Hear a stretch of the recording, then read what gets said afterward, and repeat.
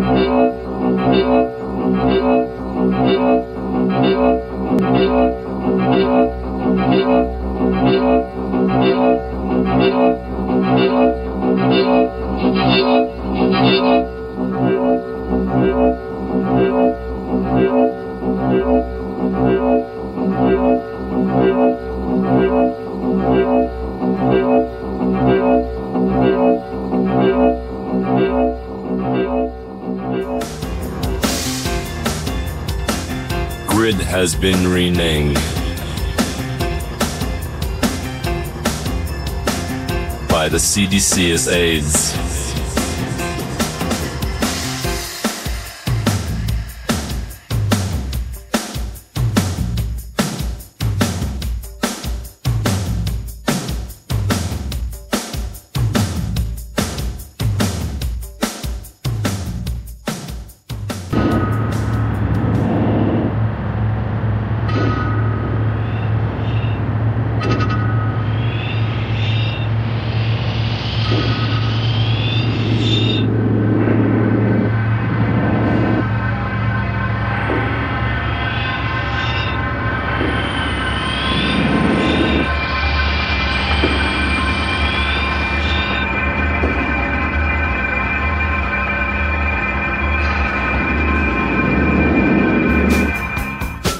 it has been renamed by the CDC as AIDS.